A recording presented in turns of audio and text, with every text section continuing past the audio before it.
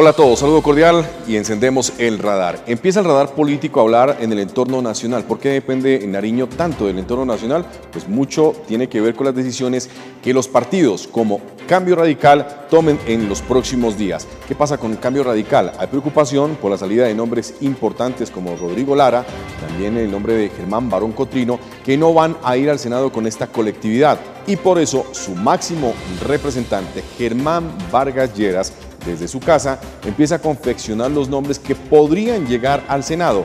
Ahí hay uno en esa lista que tiene él, que no ha dicho todavía ni sí ni no. Se trata de Gilberto Betancur, actual representante a la Cámara por el Departamento de Nariño. Él analiza el panorama, revisa la situación de las alianzas y también verifica cómo puede estar el tema electoral para el partido Cambio Radical. Lo cierto es que sí, Germán Vargas Lleras aspira al Senado de la República, una lista importante, muy seguramente el nombre de Gilberto Betancourt sea puesto en ese nombre para que llegue al Senado de la República. Todo depende cómo esté el panorama político, así o a pesar de que el político nariñense no quiera estar aún en el Senado y se quiera mantener en la Cámara de Representantes.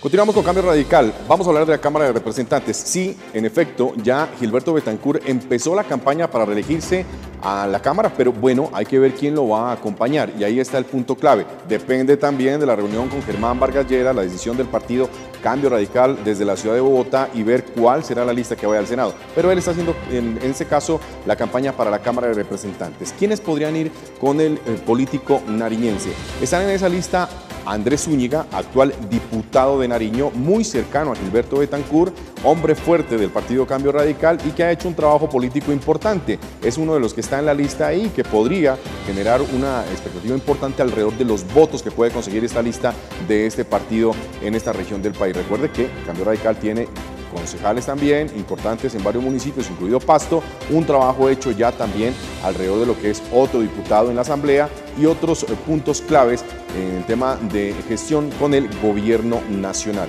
Todo tiene que ver básicamente con la construcción de la lista. Otro que entra a la lista ahí es el ex diputado, ex alcalde de la Cruz, Román Palacios, quien viene trabajando ya en el tema político, por lo menos en el norte de Nariño y en algunos puntos de la cordillera.